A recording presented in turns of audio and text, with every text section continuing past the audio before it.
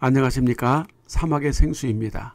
바이블 텔링 제국을 꿈꾸었던 솔로몬 열왕기상 10장 29절 말씀에 애굽에서 들여온 병거는 한 대에 은 600세겔이요 말은 한 필에 150세겔이라 이와 같이 햇사람의 모든 왕과 아람 왕들에게 그것들을 되팔기도 하였더라.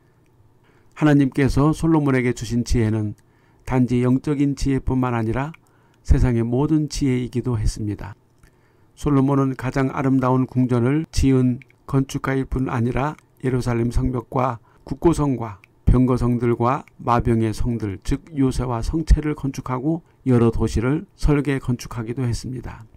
또한 솔로몬은 해상무역도 했는데 에시온게벨에서 배를 만들어 오빌의 금을 들여오기도 했고 금은 보석, 희귀한 돌들과 목재들과 상아, 원숭이, 공작 등 다양한 종류들을 수입하여 예루살렘 궁전을 매우 화려하게 만들었습니다. 솔로몬은 예능에도 뛰어나서 솔로몬이 지은 배를 이용하여 오빌의 금뿐만 아니라 백단목을 수입하여 노래하는 자들을 위해서 수금과 비파를 만들어 연주하도록 했습니다. 또한 솔로몬은 문학에도 매우 재능이 뛰어났는데 열왕기상 4장 33절에 그가 또 초목에 대하여 말하되 레바논의 백향목으로부터 담에나는 우슬초까지 하고 그가 또 짐승과 새와 기어다니는 것과 물고기에 대하여 말한지라 우리가 잘 아는 것처럼 솔로몬은 잠언 아가 전도서를 지어서 후대에 남겼습니다. 솔로몬의 작품들은 지금까지 모든 시대 사람들에게 기억되는 아름다운 격언과 사랑의 시와 인생의 참 의미를 전해주고 있습니다. 뿐만 아니라 솔로몬은 무기 산업에도 매우 뛰어난 역량을 발휘했습니다.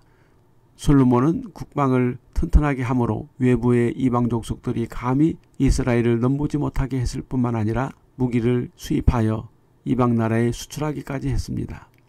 역대하 1장 14절 솔로몬이 병거와 마병을 모음해 병거가 1400대요 마병이 12,000명이라 병거 성에도 두고 예루살렘 성에도 두었으며 역대하 1장 16절 17절 말씀에 솔로몬의 말들은 애국과 구해에서 사들였으니 왕의 무역상들이 때로 값을 정하여 산 것이며 애굽에서 사들인 병거는 한 대에 은 600세겔이요 말은 150세겔이라. 지금의 전쟁 무기는 패트리어트 또는 핵무기, 항공모함, 핵잠수함들이지만 솔로몬 당시에는 말들과 철병거와 창과 방패들이었습니다. 솔로몬은 애굽에서 병거와 말들을 사들여서 그것들을 헷 족속들과 아람 왕들에게 되팔기도 했습니다.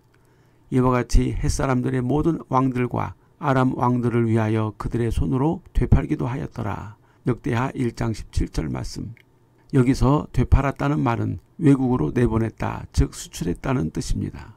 솔로몬은 매우 비상한 지혜로 세상의 모든 종류의 거래를 했는데 그 중에 이방 여자들은 아내로 맞이하고 외국 문물과 우상들과 외국의 희귀하고 값진 것들을 수입하고 거래하기도 했습니다.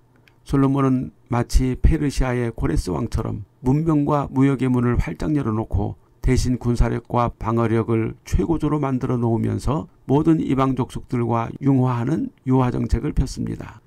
그래서 아마도 그 당시 솔로몬은 근동 지역을 선도하는 젊은 왕으로 명성을 떨쳤고 그 위용과 영광이 대단했던 것을 볼 수 있습니다. 솔로몬이 이렇게 개방 정책을 펴면서 이방 문명들을 받아들이는데도 이방 족 속들이 넘보고 침략하지 못했던 것은 솔로몬이 세워놓은 견고한 군사 구축 체계 때문이었습니다. 밀로 건축은 온 이스라엘의 요새와 작업으로 솔로몬 시대의 유일무이 군사 방어 구축 시스템이었습니다. 아마도 솔로몬은 이집트처럼 대제국을 꿈꾸었을 것입니다. 그 시대의 제국의 3대 요건은 문화예술과 부귀영화 그리고 막강한 군사력이 었는데 솔로몬은 이 세 가지 요소를 다 갖추었습니다. 그런데 그렇게도 견고하게 쌓아놓은 군사력과 경제력과 문해부흥은 그 당시 모든 세상의 왕들의 칭송과 숙모를 받았지만 솔로몬의 넘치는 이방 여인 사랑으로 우상숭배의 끝장을 보여주었고 그로 인해 모든 세속적 영화는 점점 무너지고 파괴되어지고 말았습니다. 솔로몬은 세상의 쾌락과 자아도취와 막강한 무기와 군사력에 취해서 정말 견고한 망대는 여호와이심을 잠시 잊어버리고 있었을까요? 솔로몬이 잠시 잊고 있었던 것은 그의 나라가 솔로몬의 것이 아니라 다윗의 것이었다는 사실이었습니다.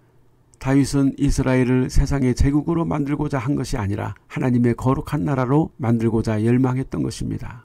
다윗의 이 마음을 하나님은 기뻐하시고 하나님 마음에 합한 자라고 인정하셨습니다. 만일 다윗이 이스라엘을 세상의 제국으로 세우려고 했다면 하나님은 다윗을 버리셨을 것입니다. 그래서 솔로몬은 노년에 아버지 다윗의 뜻을 깨닫고 여호와를 경유하는 것이 지식의 근본이며 사람의 본분, 사람이 가장 해야 할 일이라고 말하지 않았을까요? 그래도 솔로몬은 다윗의 그리 나쁜 아들은 아니었습니다. 늦게나마 깨달았기 때문입니다.